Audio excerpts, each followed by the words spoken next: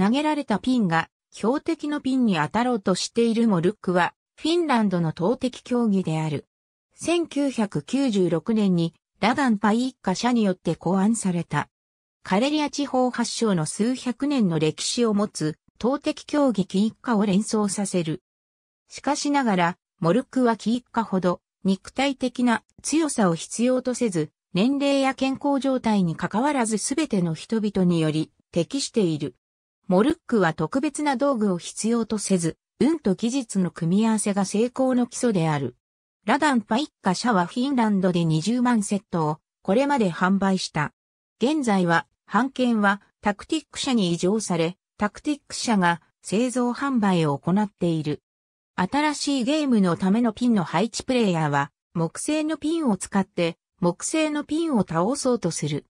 標的のピンと投げるピンの寸法はほとんど同じであり、標的のピンには1から12までの数字が記されている。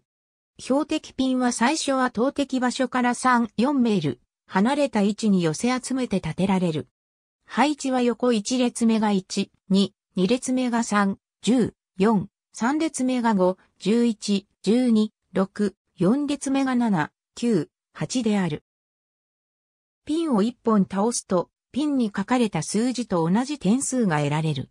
2本以上のピンを倒すと、倒したピンの数と同じ点数が得られる。投げたピンあるいは数字が書かれたピンに寄りかかっているピンは点数とならない。埋投擲後、ピンは倒れて移動した位置で再び立てられる。最初に点数が50点ちょうどになったプレイヤーが勝者となる。50点を超えてしまうと点数は25点に戻る。3回連続で標的のピンに一つも当たらなければ失格となる。モルックのフィンランド選手権は1997年から南部タバスティアのユースクラブを中心にラハティで開かれていた。また、タンペレ工科大学の学生が2001年にもルックの大学世界選手権を組織した。競技とそのサブカルチャーを進行するため、フィンランド国際モルック協会が2001年に結成され、モルック世界大会の開催が始まった。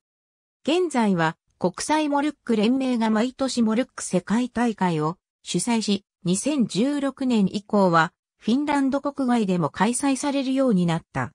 2010年と2011年にオーストラリア選手権が開催された。アメリカ合衆国ではモルック USA と US もルック協会が2014年以降米国大会を認可し、毎年米国チャンピオンを発表している。タクティック社製のモルックセット日本大会は2014年から毎年開催されている。日本もルック協会によると2011年に協会が設立された時点での日本における競技人口は100人未満だった。2019年にお笑い芸人の森田哲也らがモルックの日本代表としてフランスで行われた世界大会に出場し、メディアで PR したことをきっかけに競技人口が増え、2018年時点では約1000人であったのが、2020年時点では5000から8000人まで増加している。